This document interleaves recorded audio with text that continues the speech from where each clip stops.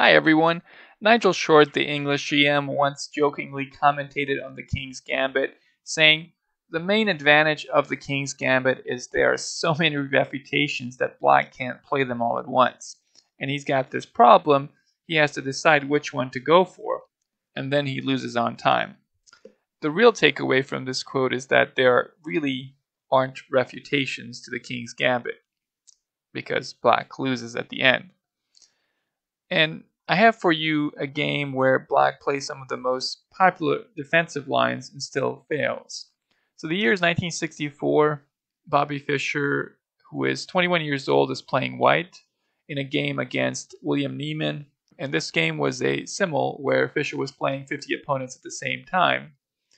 And Fischer still managed to produce this King's Gambit masterpiece where he won in just 16 moves after a queen sacrifice the game went e4, e5, f4, the move that characterizes the king's gambit.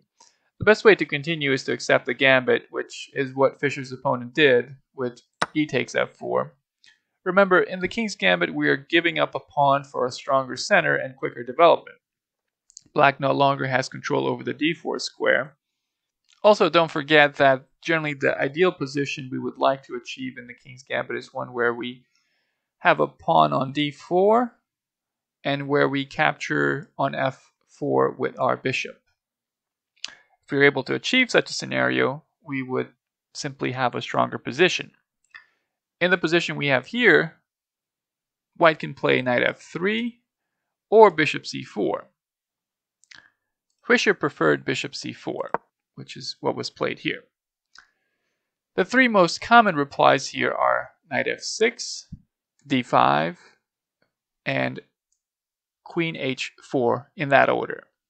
Fischer's opponent played d5, the second most popular move. Black is willing to give up the pawn for the ability to open up the diagonal for the light square bishop and quicker development. Technically, in this position, playing e takes d5 is okay, but the best move is bishop takes d5, which is what Fischer played. There's two ways for black to continue. Knight f6, the most popular reply, and that was what was played here. And there's also queen h4 check, which computers like just slightly more. So Fischer's opponent played knight f6, and Fischer replied with knight c3, continuing his development and uh, black replied with bishop b4, attacking the knight and clearing the way for black's king to castle kingside. Fischer played knight f3, a move that also clears the way for castling, and both sides did decide to castle on their very next move, so castle kingside, castle kingside. Here, black has a tough decision to make. I prefer the move knight takes d5. Black ended up playing bishop takes c3. This move appears to leave black a little underdeveloped, especially since after Fischer captures, a diagonal will be opened up for the dark squared bishop. So Fischer played d takes c3, and at the right moment Fischer will have the option of capturing on f4 with the bishop. Fischer's opponent played c6. He wants to be able to develop his light square bishop without our bishop capturing on b7. Fischer moved the bishop back to c4, and of course, with the bishop on the AAG8 diagonal, the pressure on f7 continues. Queen b6 check was played. With black being behind on in development, exchanging the queens would have been a slightly better idea for black, but black decides to keep the queens on the board. Fischer played king h1, getting out of the check, and Fischer's opponent played an interesting move here, and a move I believe was a big mistake. He played knight takes e4. Now, when you have three pieces yet to be developed 10 moves into the game, you probably don't want to go pawn hunting. This move is simply dangerous. Fischer plays queen e1.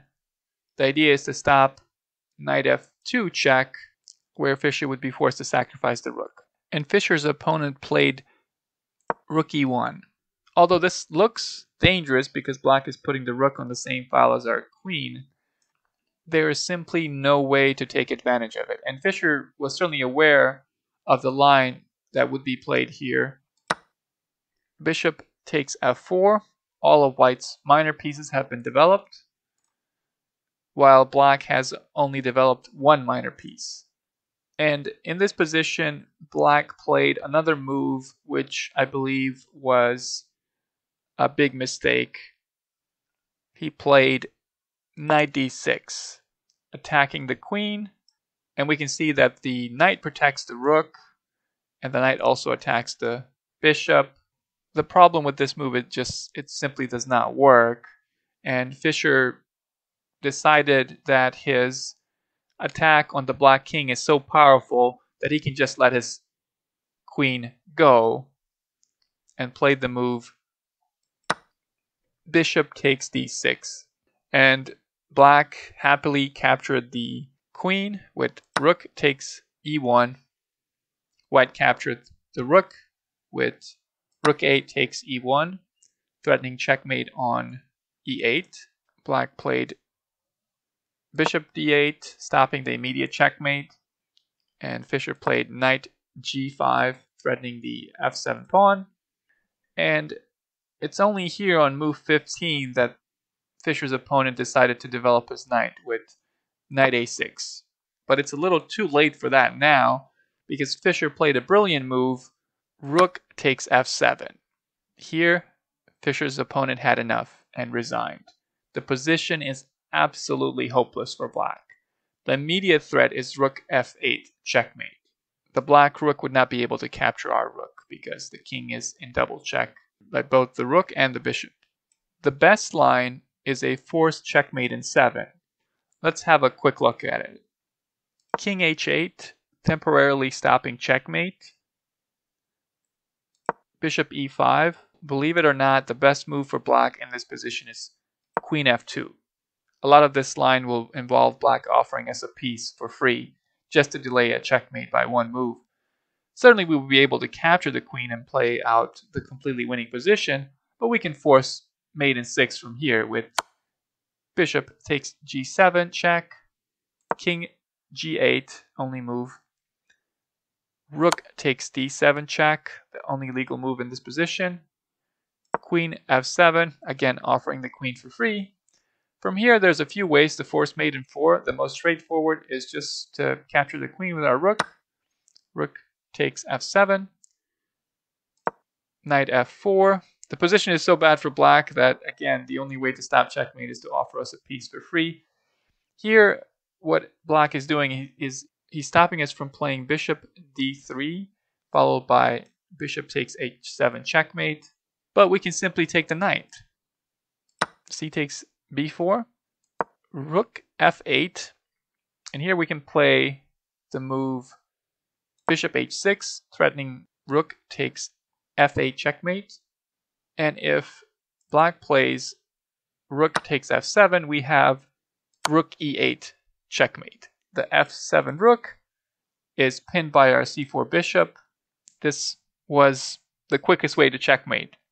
So Thanks for watching. I hope you've enjoyed this game. If you have, don't forget to like, subscribe, and comment.